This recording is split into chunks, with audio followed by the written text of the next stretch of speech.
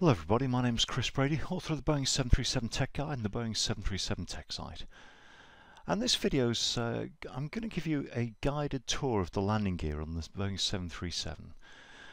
The particular aircraft I'll be using will be a, uh, 737-400, so it's from the Classics generation, but the differences are only minor between Classics and NGs. Apologise in advance, there's a little bit of wind noise at times on this video. Uh, I do hope that doesn't detract from uh, your, your enjoyment of it. As always, please treat your company training and their manuals as the authoritative source of information.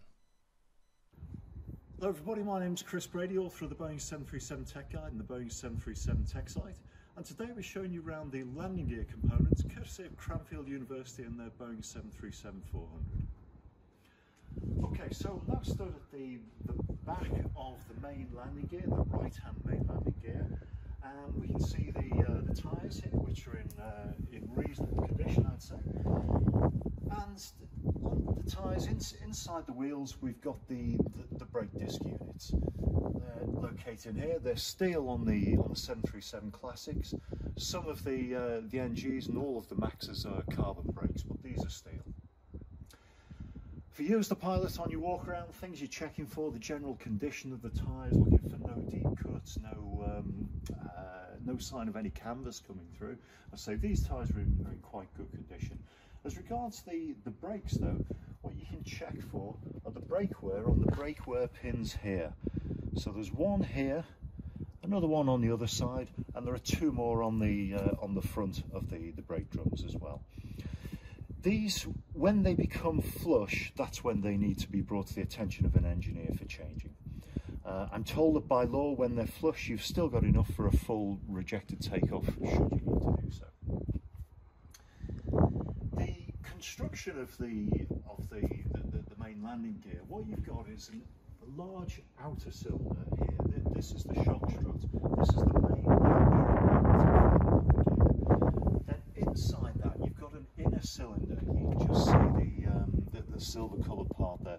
And this inner cylinder is free to move in and out of the outer cylinder, like so. It's also free to rotate as well. And when we go around to the, the front of the gear, we'll, we'll, see how this is all held in place. The axle runs across, so you've got the brake units and then the wheels on top. Okay, so let's go around to the, the, the front.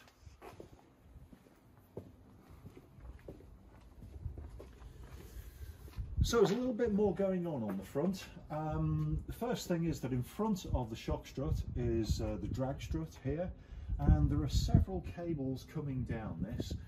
Um, so we've got two cables here which are the, the hydraulics for the, the brakes.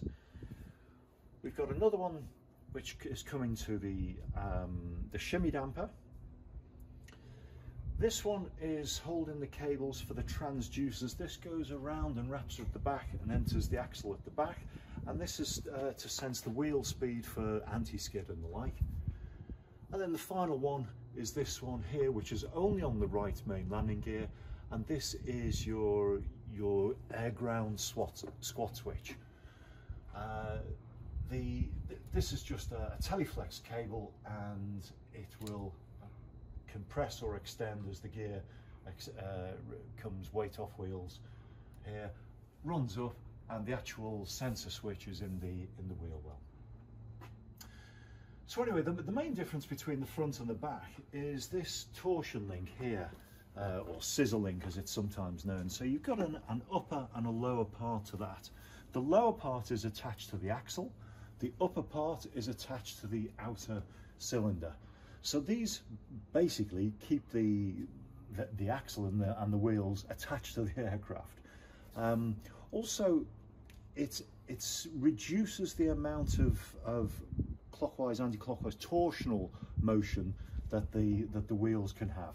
It, it still allows for a little bit of motion, um, and, and that's what we, we know as shimmy, but that's, that's reduced with this, uh, with this shimmy damper here. Uh, what else can we show you? The, the, the brake wear pins, often overlooked on a walk around. Most people just tend to look at the back ones, but you've got one there and you've got one same place on the other side there. So you can see these brakes are in actually quite good condition. All right, so moving up from the uh, from the scissor link, uh, let's look at the doors. Um, now the, line, the, the 737 is, is fairly unique in most airliners in that it hasn't got doors that cover the wheels, um, hence the, the cutout shape here.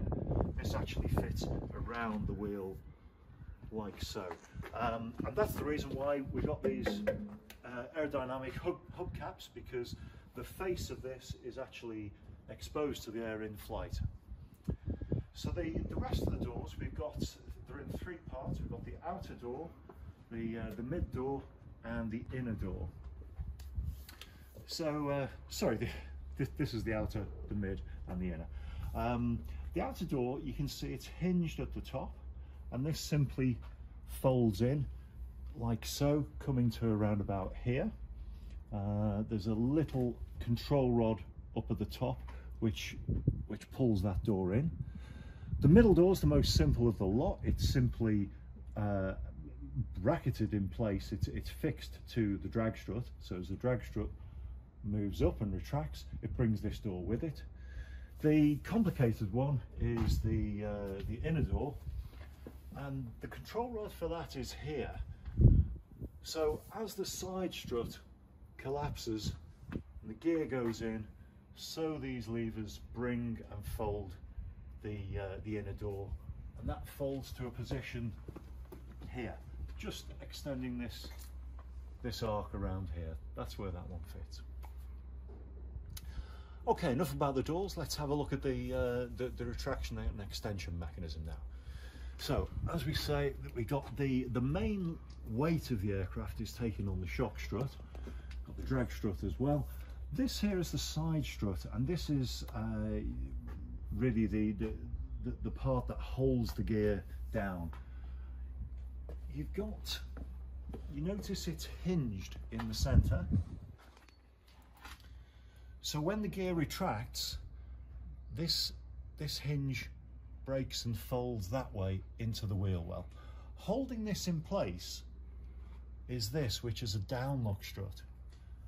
And that locks this side strut in place you can see that because this aircraft's uh, on, on static display at the moment, the, the, the, gear pin is in, so that's holding the, the gear in. If you ever see that on a walk around, you need to take that out. It's been done before, very embarrassing. Um, this is an over center hinge and it is held in place, there's a pivot at the top by these two large springs here. So these springs are pulling that way which is holding this lock this way into the over center position, which is keeping this, this down lock straight, which is keeping this in place, which is keeping the gear extended. There is a micro switch on here, a sensor. That's where your, your gear down lock sensor is.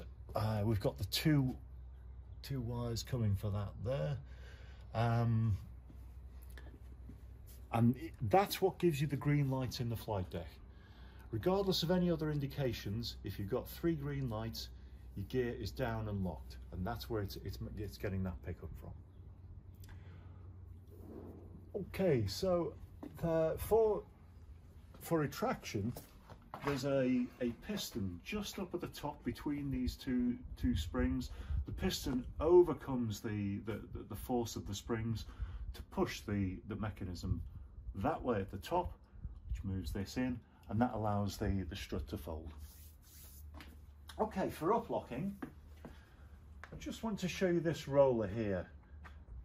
There we go, and that comes up when the gear retracts and it fits into place in that hook there. So that hook holds that roller in place and that is the, the uplock hook. Again, we got a, a, a system of an, uh, an over center lever which is held in place by these springs and it's broken by a, uh, by a piston on the back.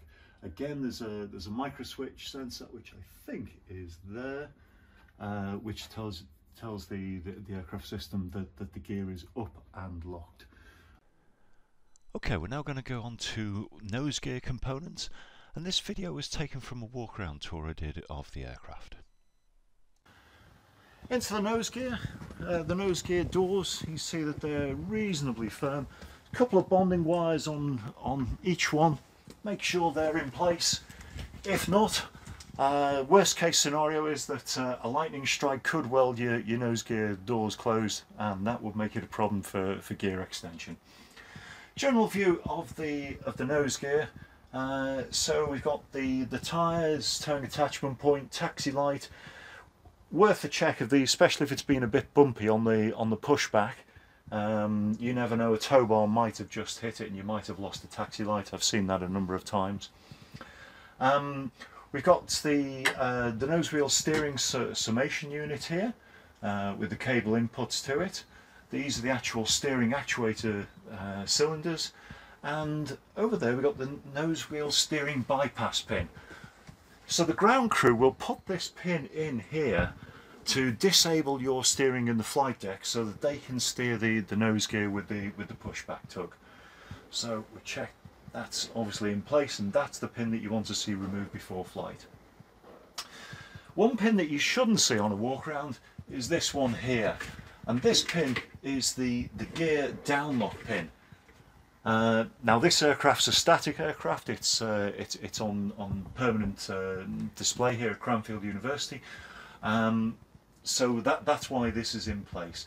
But this is the, the, the, the hinge that folds to allow retraction of the of the nose gear. So if this one's in place, you can't go flying, unless of course it's a gear down ferry.